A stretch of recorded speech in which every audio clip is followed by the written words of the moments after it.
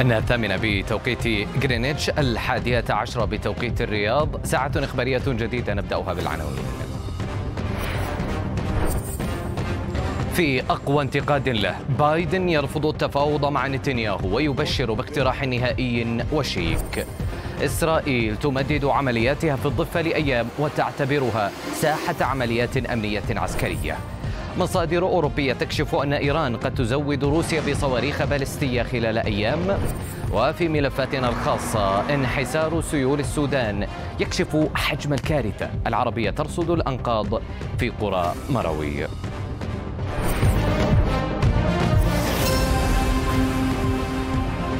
في مفاوضات غزة العالقة وجه الرئيس الأمريكي بايدن انتقادا علني لنتنياهو حمله مسؤولية فشلها بل ورفض التفاوض معه. لكنه بشر في الوقت ذاته بانفراجة في ضوء مقترح نهائي وشيك.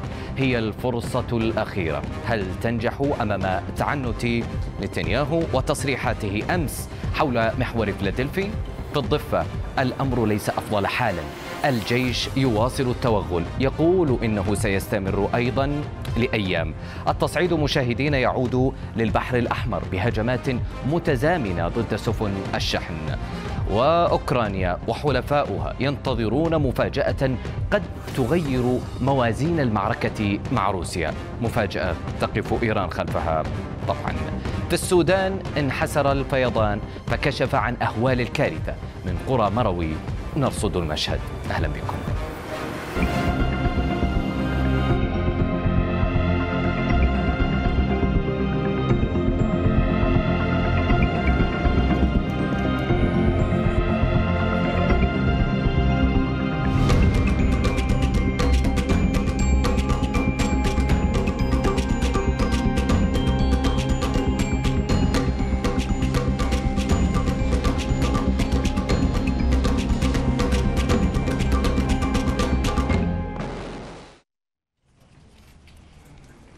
إذا مشاهدينا هدنة الفرصة الأخيرة. يبدو أنها علقت بين فكي محور فلادلفي. فكل من إسرائيل وحماس أيضا مشاهدينا لديها رأي لا تتنازل عنه.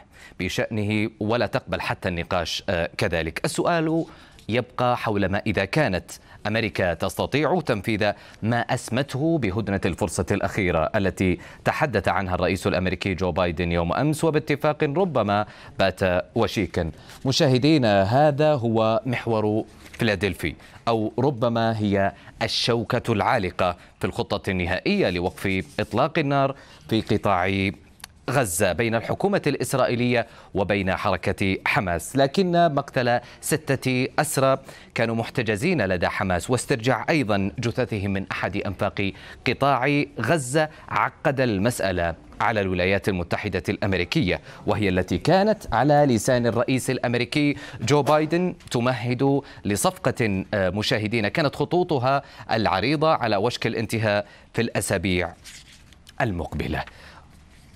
لا سيما أيضا وان بايدن ترك الكره في ملعب نتنياهو متهما اياه بانه لا يبذل جهدا كافيا للتوصل إلى اتفاق لاطلاق سراح المحتجزين بل وقال لا تفاوض مع نتنياهو Are you planning to present a final hostage deal to the, uh, both sides this week? We're very close to that. What makes you think that this deal will be successful in a way that the other deals were not? Hope springs eternal. Mr. President, do you think it's time for Prime Minister Netanyahu to do more on this issue? Do you think he's doing enough? No. تصريح بايدن مشاهدينا سرعان ما أغضب نتنياهو إلى جانب التظاهرات والإضرابات أيضا مشاهدينا التي اتسعت في القدس وفي تل أبيب. زاد أيضا في عناد نتنياهو الذي قال إنه لن يتنازل عن محور فلادلفي.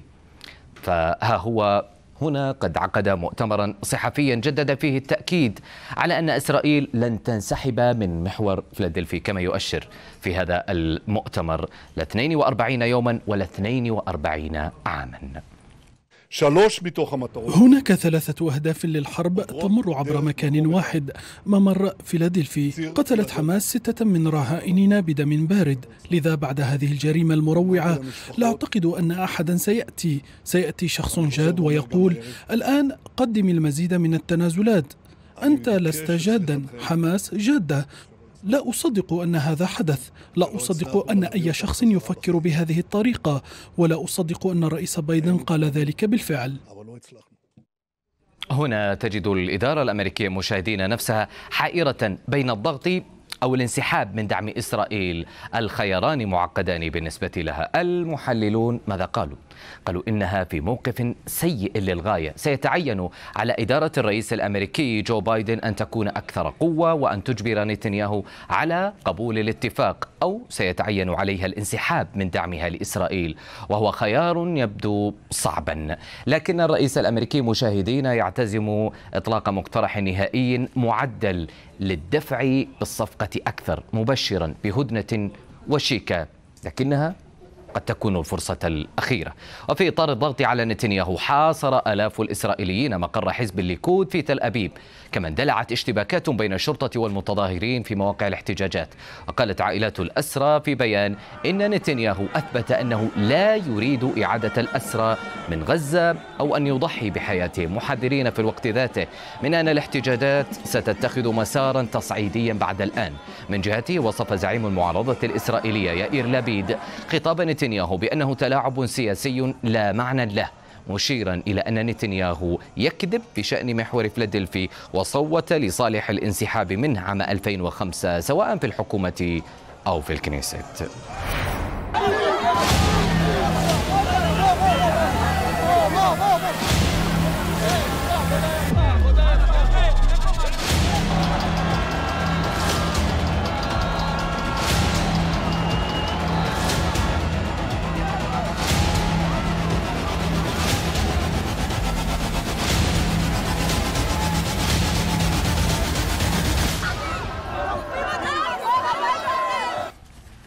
ومن القدس ينضم إلينا مدير مكتب العربية في فلسطين زياد حلبي. زياد مرحبا بك معنا. تابعنا الصور قبل قليل لحصار آلاف الإسرائيليين لمقر حزب الليكود.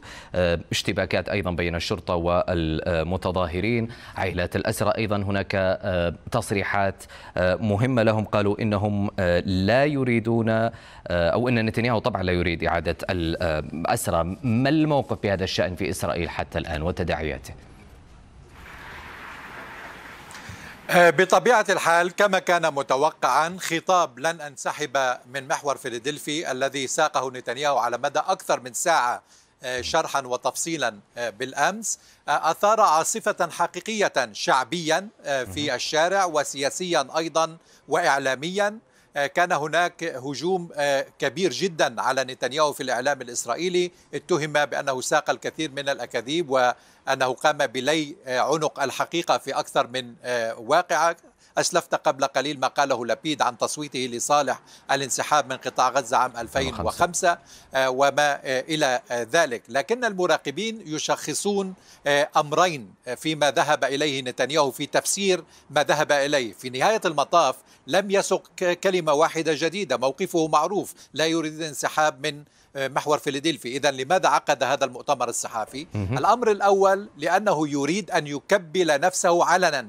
أمام الأمريكيين أمام الإسرائيليين وأمام الوسطاء بأنه لن يتزحزح في موضوع فيلادلفي حتى بثمن انهيار الصفقة وما إلى ذلك. هذا يختلف عن أن يقول ذلك في الكواليس أو في اجتماع لكن زياد يعني ألم يقنع تبرير نتنياهو بالبقاء في محور فيلادلفي بأنه كان يغذي حماس السلاح يدخل من هذه ومن هذا المحور تحديدا وبأنه بالسيطرة عليه يحافظ على أمن إسرائيل. ألم يقنع هذا الحديث الداخل الإسرائيلي؟ لم يقنع الداخل الإسرائيلي لأسباب عدة من بينها أن هناك رجلا كان 16 سنة رئيسا للوزراء آه، ولم يقم باحتلال محور فيلادلفي آه، ابدا هو بنيامين نتنياهو رغم أنه خاض ثلاثة حروب على آه، قطاع غزة. الأمر الآخر الذي يتساءل عنه الإسرائيليون ورأيت بالأمس بنيامين نتنياهو يحاول الإفلات من الإجابة على هذه الأسئلة، إذا كان هذا المحور استراتيجيا ومهما إلى هذه الدرجة، لماذا تلكأت إسرائيل في احتلاله ثمانية أشهر كاملة؟ لماذا لم تقم منذ اللحظة الأولى عندما قررت اجتياح قطاع غزة أن تبدأ بمحور فيلادلفي ومعبر آه، آه، رفح؟ الأمر الآخر الذي يشار إليه في إسرائيل بأن 90% من ذخيرة حماس تصنع محليا. ما تطلقه حماس من صواريخ على تل أبيب ليست صواريخ إيرانية آه، في معظم الأحوال وإنما مقادمة 90 وما إلى ذلك كلها مصنعة محليا. الانتقاد الأساسي الذي كان بالأمس في الصحافة الإسرائيلية لنتنياهو لماذا نسي الخارطة الأهم خارطة آه، آه، حقائب الأموال النقدية التي كان يدخلها لقطاع غزة الأموال القطرية وكان عمليا دائما يتمسك بهذا الموضوع أن هناك تحسين للاقتصاد وهذا قد يكون يمنع أي حرب مقبلة على إسرائيل. شكرا آه، جزيلا لك من القدس مدير المكتب العربي في فلسطين زياد حلبي. ينضم إلينا من جنين الدكتور أيمن يوسف أستاذ الدراسات الدولية في الجامعة الأمريكية في جنين. دكتور أيمن مرحبا بك آه، معنا. بايدن بالأمس قال بأنه لن يتفاوض مع نتنياهو بل مع فريقه آه، التفاوضي. نتنياهو يقول لا أصدق هذه التصريحات التي أسمعها عن بايدن فيما يخص التفاوض معه والعلاقة مع آه، إسرائيل كيف يمكن أن نفهم هذا الموقف؟ آه، نعم تحياتي لكم وللسادة المشاهدين والمشاهدات أنا برأيي رغم يعني الصورة الأخرى أنه شكل من أشكال الضغط على نتنياهو لإجباره للدخول في صفقة وأن الولايات المتحدة الأمريكية ستمارس ضغوط أكبر في المستقبل إلا أن هذا الخطاب من بايدن أيضا فيه الكثير من الضعف.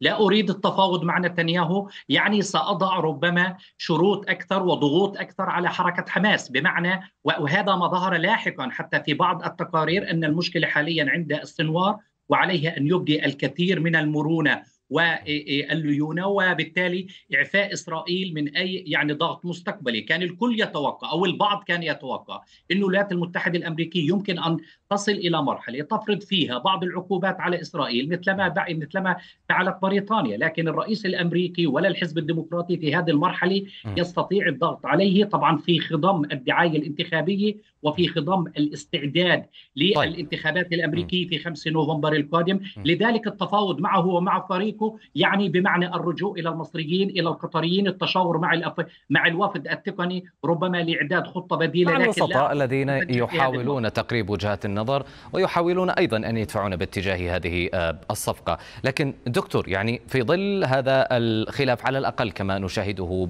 بصورته العامة كيف يمكن آه، يعني آه، كذلك أن يبشر الرئيس الأمريكي جو بايدن بأن هناك اتفاق قريب اتفاق وشيك. ليست المرة الأولى التي يتحدث فيها. تحدث عن اتفاق وشيك منذ محادثات الدوحة الأخيرة كما تعلم دكتور أيمن. هل هذا آه، عملي؟ هل هذا متوقع الآن في ظل هذا التعنت من قبل آه، نتنياهو؟ أيضا حتى من قبل حماس التي ذكرت المصادر أنها سترفض الاقتراح الأمريكي المعدل الجديد.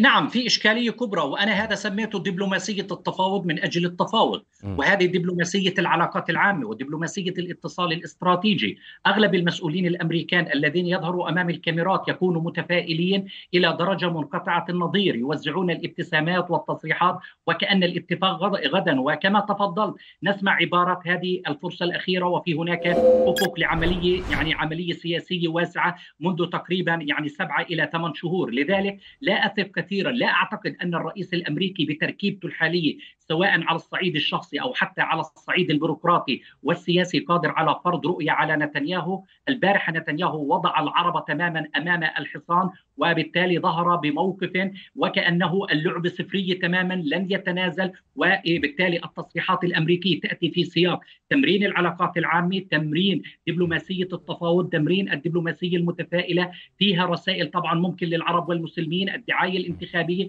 تحاول أن توازن طيب. ما بين أصوات اليهود واللوب اليهودي اليهودي وطبعا الأصوات الأخرى المؤيدة للفلسطينيين أه أخيرا دكتور أيمن يعني نتنياهو أمس قال بأن اليوم التالي في غزة هو ما بعد القضاء على حماس إن كنت سمعته في آه، المؤتمر الذي خرج به يوم أمس. هل يعني هذا أن صفقة التبادل آه، وما يتم الحديث عنه من اتفاق وشيك بات في حكم المجهول باختصار. باتت في نعم نعم أتفق تماما. باتت في حكم المجهول قرر عبارة القضاء على حماس وفي عبارة أخرى أن تكون حماس بعيدة عن السلطة وعن الحكم وكأنها هدف سهل. وبالتالي هذه العبارة فضفاضه زئبقيه يعني لا يمكن طبعا الركون إليها أو الاعتماد عليها. يمكن لنتنياهو أن يتنازل ربما في حالة واحدة. إذا خسر الشرعيه الانتخابيه أو الشرعيه عفوا البرلمانيه بمعنى ينفصل أحد الأحزاب المؤيدة لحزب يعني لحزب الليكود اليوم طيب. الترجيح الترشيحات تشير أن أن ري درعي اللي هو من حزب شاي ربما يكون طيب. أكثر هذه الأحزاب المرشحة ربما للضغط على نتنياهو من الداخل. أشكرك جزيل الشكر من جنين الدكتور أيمن يوسف أستاذ الدراسات الدولية في الجامعة الأمريكية في جنين. قال وزير الدفاع البريطاني جون هيلي إن تعليق بعض تراخيص تصدير الأسلحة إلى إسرائيل لن يكون له تأثير ملموس على أمن تل أبيب. أضاف بأن تمسك بلاده بالتزامها بالدفاع عن إسرائيل. وكانت الخارجية البريطانية قد أعلنت تعليق 30 ترخيصا لتصدير الأسلحة لإسرائيل من أصل 350 مبررة قرارها بوجود خطر واضح من إمكانية استخدامها في انتهاكات جسيمة للقانون الإنساني الدولي. نشاطنا مستمرة فيها بعد الفاصل أيضا. الجيش الإسرائيلي يقتحم نابلس وطول كرم ويدفع بتعزيزات لجنين. لدينا أيضا التوتر يعود للبحر الأحمر. هجمات تستهدف ناقلات نفط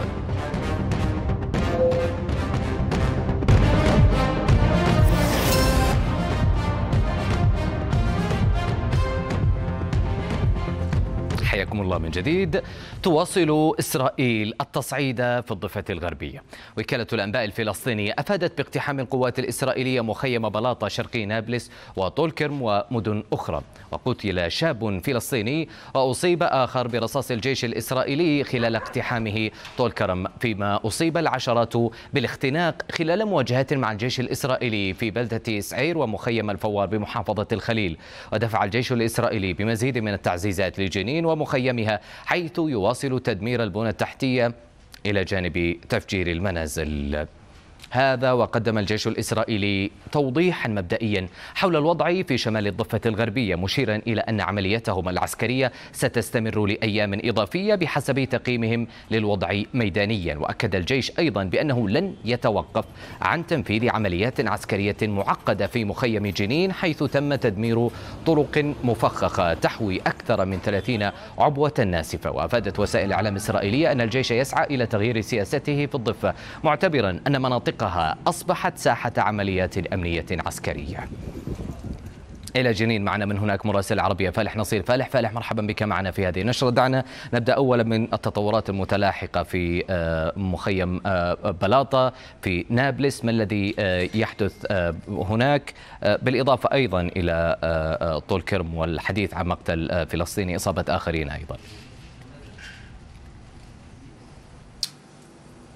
نايف العملية العسكرية مستمرة لليوم السابع على التوالي في مدينة جنين ومخيمها. وكانت هذه العملية التي أطلقتها إسرائيل على منطقة شمال الضفة الغربية استهدفت مدينة طوباس ومخيم الفارعة وكذلك مخيم طول كرم ونور شمس بمدينة طول كرم ومخيم جنين والمدينة. انتهت العملية في آه، الفارعة في بعد يومين بعد ثلاثة أيام في طول كرم لكنها تستمر الآن في جنين. لكن اللافت أن القوات الإسرائيلية عادت بها الأمس ودفعت بتعزيزات عسكرية إلى مدينة طول كرم وحاصرت المخيم وتمنع الدخول إليه أو الخروج منه فيما يخص مدينة نابلس. فذلك يندرج في إطار الاقتحامات اليومية والمتكررة للجيش الإسرائيلي باستباحة المناطق الفلسطينية. لكن مدينة جنين ومخيمها يبدو الوضع فيهما صعب للغاية لا سيما وأن المخيم على وجه التحديد يرزح تحت حصار محكم لليوم السابع على التوالي. يمنع الدخول إليه أو الخروج منه الجيش الإسرائيلي دمر البنى التحتية في داخل المخيم جرف الشوارع المنازل وكذلك آه، المحال التجارية ومركبات الفلسطينيين. يدفع بالمزيد من التعزيزات العسكرية بادعاء وجود خلايا آه، مسلحة. يصورها الجيش الإسرائيلي بأنها كتائب كبيرة ونحن نتحدث عن عشرات الشبان الذين يحملون الأسلحة الخفيفة ويتصدون للقوات الإسرائيلية ويقومون بزرع العبوات الناسفة بدائية الصنع لكن ذات المفعول الكبير. لذلك أعلن الجيش الإسرائيلي بأن عمليته العسكرية مستمرة وأنها ستطول طيب. أياما أخرى. وقال أنه قتل 14 فلسطينيا وصدر عدد من قطع السلاح واعتقل 30 مطلوبا. وكذلك صدر عبوات ناسفة واكتشف مخبأ للأسلحة في داخل المخيم حسب ما يدعي الجيش الإسرائيلي بالطبع. أشكرك جزيل الشكر من جنين مراسل العربية فالح نصير فالح على كل هذه المعلومات.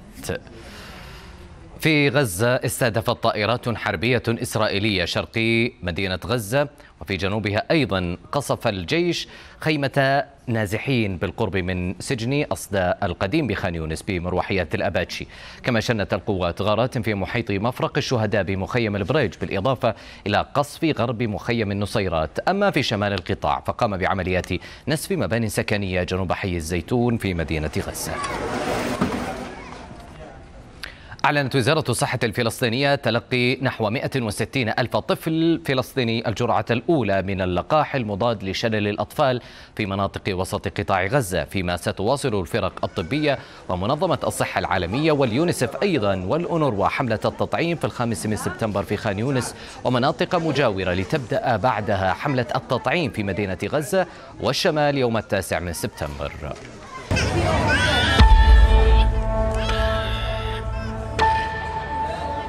الحمد لله أنا سعيدة إني طعمت أطفالي لضد شلل الأطفال عشان ما اسيبهمش أي مكروه لقدام إن شاء الله. اهميه أهمية كبيرة جدا للطفل. فضروري إحنا نطعم بالتطعيم هذا لكل شيء يعني. للي جايين طبعا اللي جايين صعب جدا. لقاح بفيدش عبد الرحمن؟ لأنه عبد الرحمن اكتسب جسم المرض وأخذ الفيروس وأثرت عليه. والأمراض الجلدية هذه منتشرة بشكل مش طبيعي بين الأطفال بين الخيام بين النازحين. للأسف الحرب حكمت علينا إنه عبد الرحمن يعيش بهيك ظروف سيئة. بالنسبة لنا إحنا بدنا يوقف الحرب. أنا كل ما بنزح وبطلع هذه أكبر هم بالنسبة لنا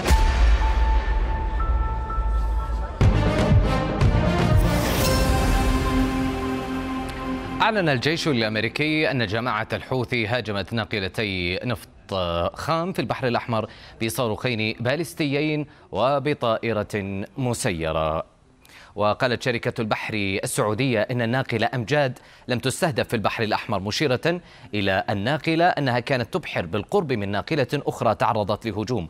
وأكدت شركة البحر السعودية في بيان أن ناقلة أمجاد لم تكن مستهدفة ولم يلحق بها أي أضرار أو إصابات. البيان أوضح أيضا أن الناقلة ما زالت تعمل بكامل طاقتها وتتجه إلى وجهتها المخطط لها دون انقطاع. بعد الهجمات الحوثية الأخيرة مشاهدين أكدت القيادة المركزية الأمريكية في بيان أنها دمرت خلال الساعات الماضية مسيرة حوثية وزورقا مسيرا في المناطق التي يسيطر عليها الحوثيون في اليمن. وقالت القيادة المركزية الأمريكية إنها اتخذت هذا الإجراء لحماية حرية الملاحة وجعل المياه الدولية أكثر أمانا.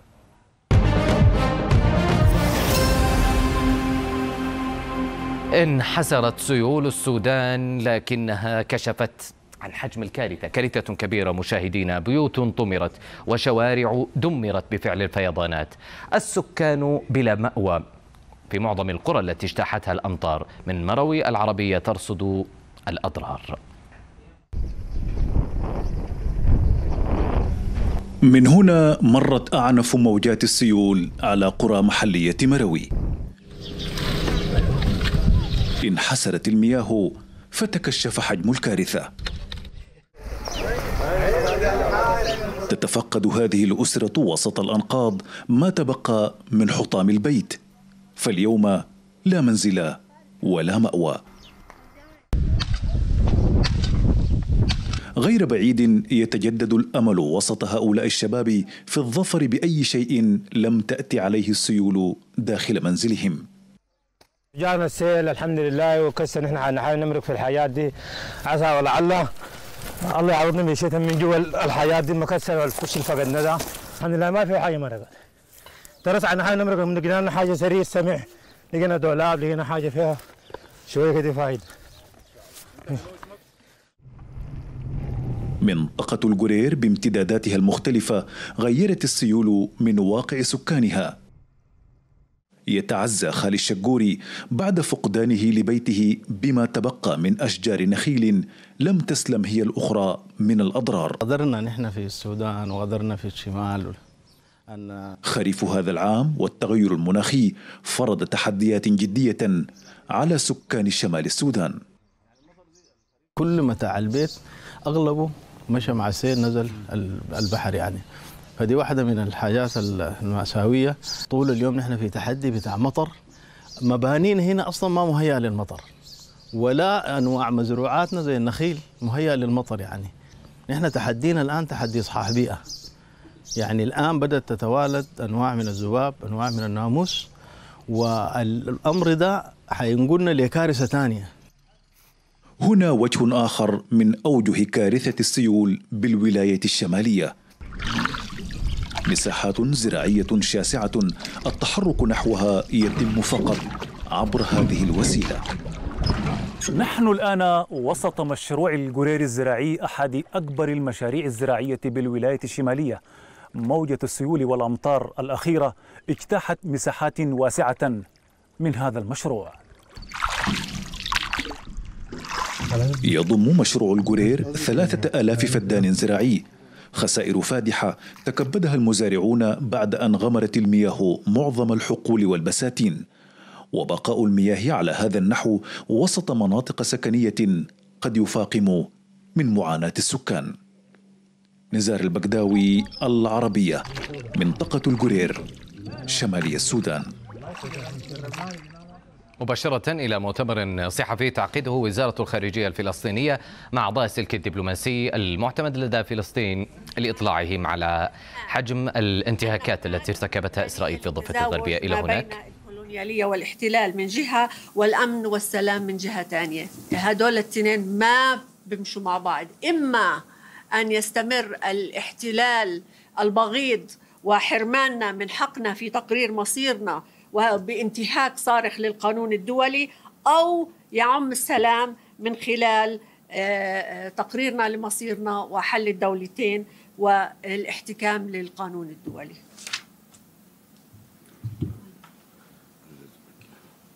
يعطيكم العافية. مرة أخرى التقينا في الدبلوماسيين والقناصل المتواجدين هنا في أراضي السلطة الوطنية الفلسطينية لإطلاعهم على حقيقة ما يجري على الأرض. من الدماء التي تسيل من البنى التحتية التي هدمت من المباني من وجع أمهات وأطفال ونساء مخيمات الشمال تحديدا مخيم جنين مخيم تلكرم مخيم نور شمس.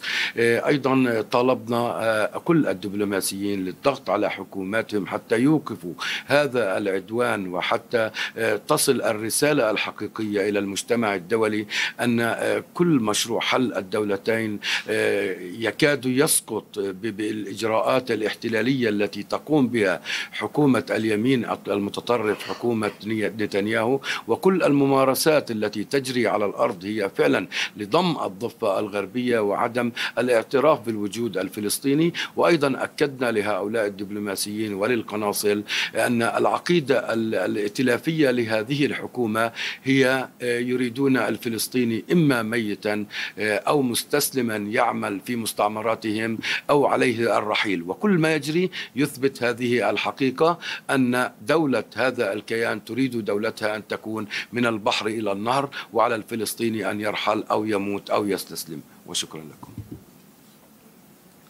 مساء الخير للجميع. يعني اللي إحنا اليوم جينا نقلنا لهم الصورة الحقيقية على كل ما يجري على أرض الواقع في مدينة جنين ومخيم. إذا تابعنا وإياكم مشاهدينا جزء من هذا المؤتمر الصحفي لوزارة الخارجية الفلسطينية مع أعضاء السلك الدبلوماسيين المعتمدين طبعا لدى فلسطين. نشرتنا مستمرة فيها بعد الفاصل. هجوم روسي عنيف على أوكرانيا. الأخيرة تسقط 27 مسيرة. ولدينا أيضا يوم العمال الأمريكي يشعل التراشق بين ترامب وهاريس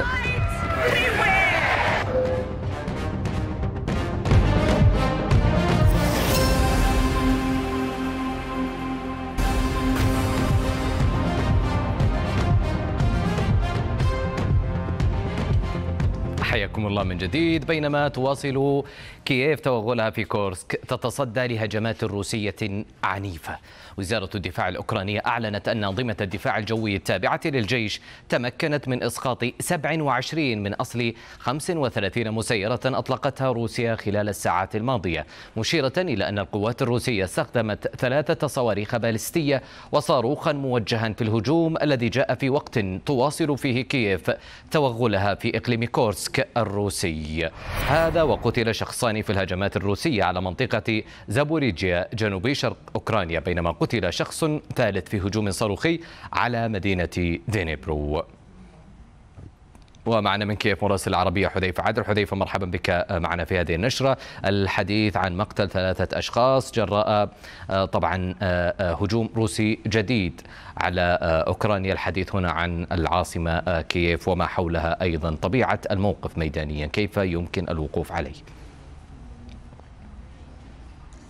نعم في الحقيقة يعني الهجوم الصاروخي وأيضا بالمسيرات استهدف عدد من الولايات الأوكرانية العاصمة كييف بالإضافة إلى دينيبرا بتروفسك وخرسون وخاركيف وبلطافا وسومي كل هذه المناطق تم استهدافها من قبل قوات الاتحاد الروسي. أسقطت الدفاعات الجوية 27 مسيرة من أصل 35 وكذلك ثلاثة صواريخ صاروخين صاروخين نعم من طراز باليستي وأيضا صاروخ موجه كي اتش 55 و 95 هذه الهجمة طبعا كان هنالك عدد من الآثار نتيجة هذه الهجمة. أيضا في دنيبرا بتروفسك كان هنالك قتيل وجرحى وكذلك في منطقة زاباروجا في منطقة خرسون أيضا قالت هيئة الطوارئ الحكومية أنها أنهت أعمال يعني رفع الأنقاض عن الفندق الذي تم استهدافه من قبل قوات الاتحاد الروسي في وقت سابق وارتفع عدد الضحايا في هذا الفندق. يعني هنالك قتيل آخر وجد تحت الأنقاض. إذا سمحت لي سوف أترك الكاميرا تتجه نحو هذا الاتجاه وواصل الحديث. إذا شاهدت معي هذه الأعلام الموجودة هنا في ميدان النصر بوسط العاصمة الأوكرانية كييف. في بداية الحرب أو يعني دعنا نقول بعد ستة أشهر من الحرب بدأت هذه المبادرة بوضع الأعلام للأسر التي فقدت يعني أقربائها في هذه الحرب. وكان العدد قليل جدا الآن. إذا شاهدت في الصورة عدد كبير جدا. وهذا يشير إلى عدد ما تفقده أوكرانيا بشكل مستمر في هذه الحرب. هذا فقط هنا في هذا الموقع. هنالك عدة مواقع مثل هذا الموقع في كل مدن أوكرانيا زرنا كثير من المقابر التي يدفن فيها الجنود وهنالك أعداد هائلة من القتلى فالفقد كبير بشكل يومي ومستمر تأتي طبعا أيضا الأسر إلى هنا لوضع بعض التذكارات والصور وأيضا لوضع الأعلام. سواصل الحديث حول الوضع في الجبهة في منطقة دينيسك على وجه التحديد هنالك في منطقة بكروفسكي الهجوم الأكبر في هذه المنطقة. هنالك 55 اشتباكا جرى في ال 24 ساعة الماضية فقط في اتجاه بكروفسكي ولكن بشكل عام في الجبهة كان هنالك 175 طيب. اشتباكا قتاليا بين القوات م. الأوكرانية والقوات الروسية واستطاعت القوات الروسية أن تتقدم في منطقتين في دونيتسك بالقرب من نيويورك وكذلك في منطقة بيرشيروستروفسكا شكرا جزيلا لك من كيف مراسل العربية حذيفة عادل على كل هذه المعلومات والتفاصيل نبقى في أوكرانيا. مفاجأة جديدة في هذه الحرب مشاهدين قد تعطي صورة مختلفة في ميدان المعركة مع اتجاه طهران مع اتجاهها نحو تزويد موسكو بصواريخ باليستية لأول مرة وفق ما تحدثت عنه شبكة بلومبرغ. والتسليم قريب وقريب جدا. الصواريخ البالستية مشاهدين. هذه الصواريخ البالستية مقابل مقاتلات سوخوي المتطورة. هذا هو شكل التعاون العسكري الجديد بين روسيا وإيران والذي يتم في كثير من الأحيان بطريقة خفية. وفق ما نقلته شبكة بلومبرغ نقلا عن مسؤولين أوروبيين. حجم الدفعة والإطار الزمني أيضا لا يزالان آه، طبعا غير واضحين لكن يكثر الحديث عن منظومة صواريخ آه، فتح 360 التي تطلق صواريخ بالستية تكتيكية يصل مداها الأقصى إلى 120 كيلومترا. هذه الصواريخ مشاهدين ستساهم بشكل كبير في تغيير خريطة المعارك خصوصا وأن هذا النوع من الصواريخ موجه موجه بالأقمار الصناعية وتبلغ سرعته ثلاثة أضعاف سرعة الصوت. هذا هو ما تحتاجه آه، موسكو حسب التقديرات مشاهدين في هذه الفترة كي تضرب أنظمة الدفاع الجوي الأوكرانية. وكي توقف التوغل أيضا إلى داخل آه، مناطقها الحدودية هنا في كورسك والتي آه، طبعا كما نعلم دخلتها أوكرانيا خلال الفترة الماضية. إلى جانب تحقيق الهدف بالنسبة لروسيا الأكبر وهو السيطرة الكاملة على دونيتسك وفق مراقبين مشاهدينا فإن روسيا ستعمل على تعزيز ترسانتها العسكرية لمواصلة حربها على أوكرانيا معتمدة على طهران. تقارير غربية تحدثت سابقا عن إرسال مئات المسيرات إيرانية الصنع لمهاجمة أهداف داخل العمق الأوكراني. لكن في المقابل روسيا مشاهدين قامت بتزويد طهران بتكنولوجيا متطورة سمحت لها بتطوير قدراتها في مجال الأقمار الصناعية.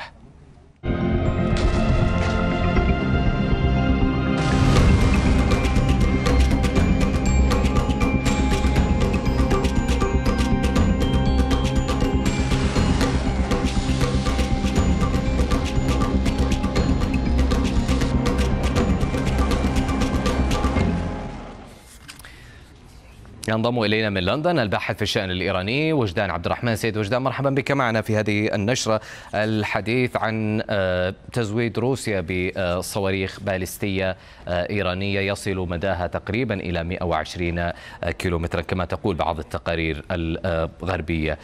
اولا إلى أي مدى هذه المعلومات آه، دقيقة ولماذا ستزود طهران موسكو بهذا النوع من الأسلحة؟ ما الثمن ما المقابل؟ آه، تحياتي لك أستاذ نايف ولمتابعيكم. آه، الكرام فيما يتعلق بهذه الصفقة هو ليس بجديد وفقا للاتفاقية ما بين إيران وروسيا المنعقدة في 2001 وانتهت في 2020 ومن ثم بشكل تلقائي تمدد آه، هذا الاتفاق لخمس سنوات أضافية. لكن فيما يتعلق بموضوع صفقة الصواريخ في 15 من يناير الماضي كان هنالك اتصالا آه، هاتفيا ما بين آه، سيرجي آه، شيغوف وأيضا أشتياني في فترة حكومة إبراهيم رئيسي.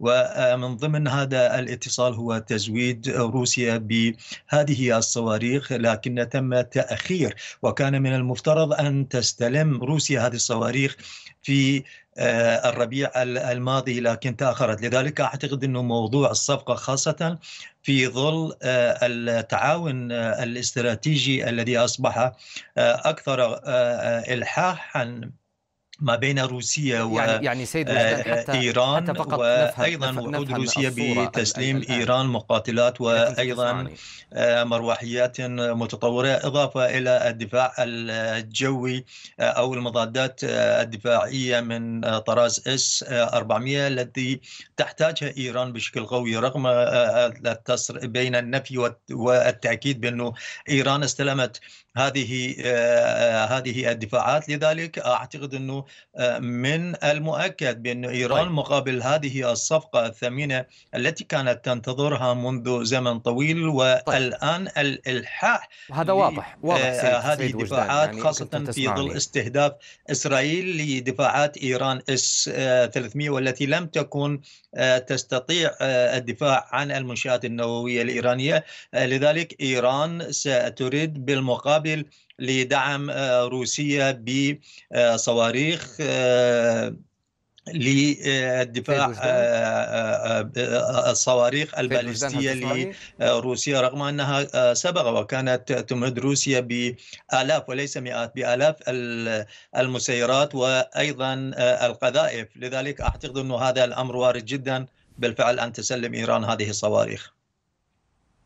طيب سيد وجدان هل تسمعني بشكل جيد الآن؟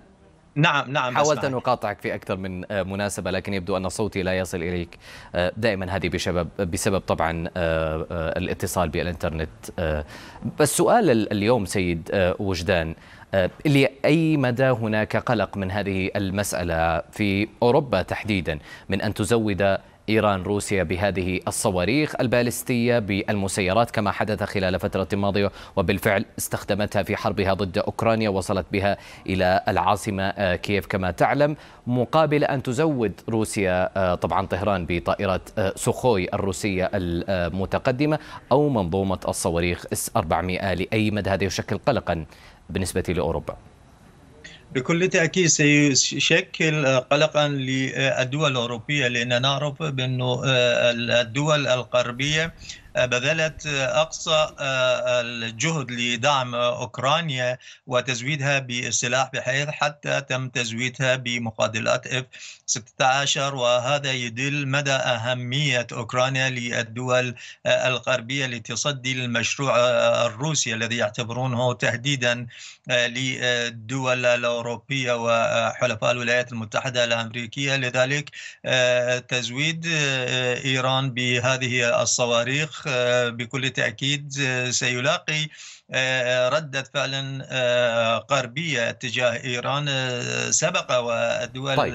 الغربية أيضا هددت عندما سلمت إيران الصواريخ المسيرات. إذن هذا هذه المرة في ظل الصواريخ بكل تأكيد سيكون هنالك ردة فعل أكبر.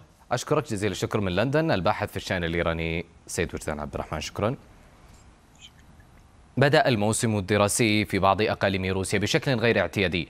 أصبحت الدراسة مشاهدين في المقاطعات الحدودية مع أوكرانيا عن بعد أنها تشهد أوضاعا خطيرة إثر توغل الجيش الأوكراني في إقليم كورسك وقصفه المستمر لمقاطعتي بلغرود وبريانسك. العربية زارت إحدى مدارس كورسك ووثقت الأوضاع الأمنية. هذا هو حال المدارس في مدينة كورسك في أول يوم دراسي. نزل الطلاب الذين التحقوا بمدارسهم للملاجئ فور سماع صفارات الإنذار التي تحذر من خطر الصواريخ. انتظروا حتى أعلن زوال حالة الخطر ثم عادوا أدراجهم إلى مقاعد الدراسة. انتهت حالة الخطر بعد أن نزل الطلاب والمعلمين والمعلمات إلى الملاجئ والآن انتهت حالة الخطر ويصعدون إلى ممارسة العملية التعليمية مرة أخرى. وزارة الثقافة خيرت أهالي الطلاب بين تعليم أبنائهم عن بعد وبين التعليم التقليدي في هذا الموسم.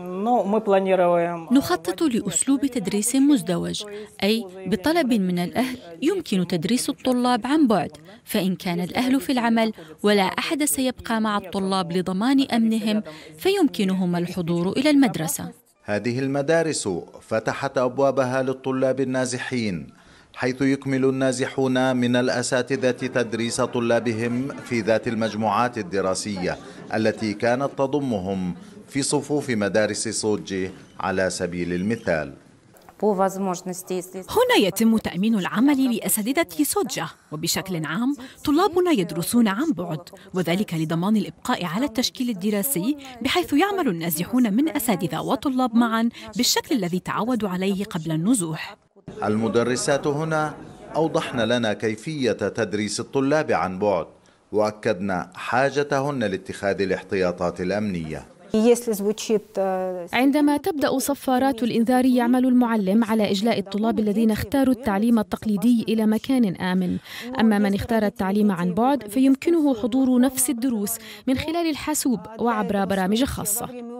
النازحون وسكان المدينة يعانون من الظروف التعليمية الصعبة ذاتها وإن تفاوتت المصاعب. إذا تستمر الحياة في مدينة كورسك على وتيرة الحرب. جنود في الجبهة وطلاب في المدارس وقصف ومسيرات تجوب السماء المقاطعة. وضع قد يستمر لعدة أشهر وسط احتمالات الحرب المتغيرة. من إحدى مدارس كورسك رائد الأغبر لقناتي العربية والحدث.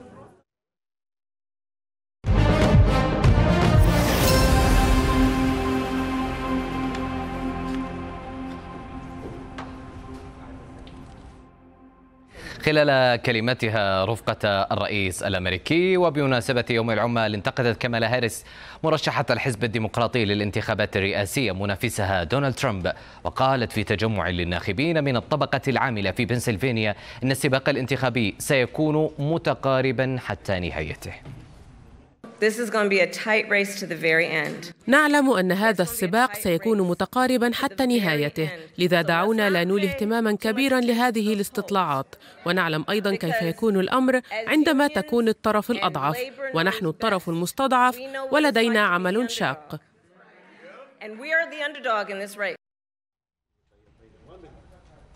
من جانبه اتهم الرئيس الأمريكي جو بايدن اتهم المرشح الجمهوري للانتخابات الرئاسية دونالد ترامب بأنه كان السبب وراء الكثير من المشاكل التي أثرت على الأمريكيين وهو لا يهتم لا يهتم بالأشخاص الذين بنوا الاقتصاد الأمريكي.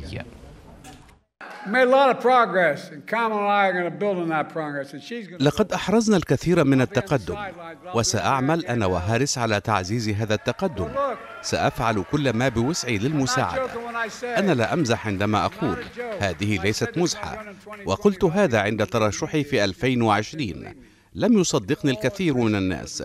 وكل هذا في خطر بسبب ترامب. فبجرة قلم يمكنه التخلص من أشياء كثيرة. هل تعتقدون أن هذا الرجل يهتم بمعاشاتكم التقاعدية أو يفتقد لحظة من نومه بسبب ذلك؟ هل تعتقدون أنه يهتم بالعمل الذي تقومون به ومدى صعوبته؟ أو يهتم بالوظائف ذات الأجر الجيد أو الأشخاص المجتهدين الذين بنوا هذا الاقتصاد؟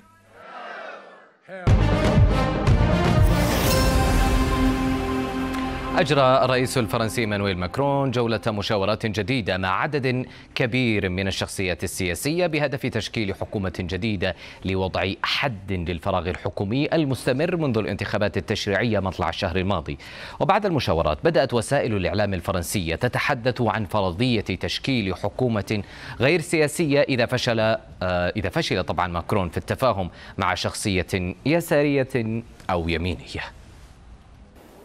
اليساري الجيد الوحيد بالنسبة لماكرون هو اليساري السابق أما اليميني الجيد فهو المطيع للرئيس كما يقول خصومه ويتساءلون هل يهتم سيد الإليزيه فعلا باستقرار المؤسسات أم باستقراره هو على رأسها؟ أبرز من تشاور معهم ماكرون رئيس الوزراء الأسبق برنار كازنوف وهو اشتراكي سابق لا يدعمه اليسار ويرفضه أقصى اليمين وكزافييه بيرتران وهو وزير يميني سابق يعارضه اليسار وأقصى اليمين ولا يدعمه حزبه الديغولي تشاور ماكرون أيضا مع فرانسوا أولاند ونيكولا ساركوزي شكليا كرئيسين سابقين ومع أركان حزبه وحلفاء حزبه وقوى سياسية معارضة. وإذا لم ينجح في تشكيل حكومة سياسية فهو قد يلجأ أخيرا إلى حكومة غير سياسية. وربما يكون هذا هو الهدف الأبعد للرئيس. فهو متهم من خصومه بأنه يشاور السياسيين ليخالفهم والتقنيين ليحالفهم بل ليقودهم.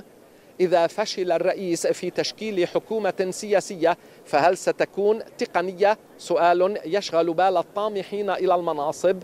أما مانح المناصب وهو الرئيس فيشغل باله فقط كيف سيضمن غالبية برلمانية لأي حكومة مقبلة كي لا تقع في فخ مذكرات حجب الثقة عنها يمينا ويسارا. وهنا ستدخل فرنسا في أزمة نظام وهو ما يحاول ماكرون تجنبه دون كبير نجاح. أقله حتى الآن.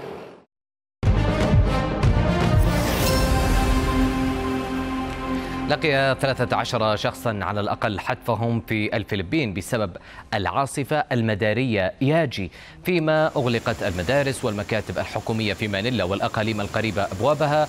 آه، أغلقت أبوابها طبعا بسبب سوء الأحوال الجوية المتوقع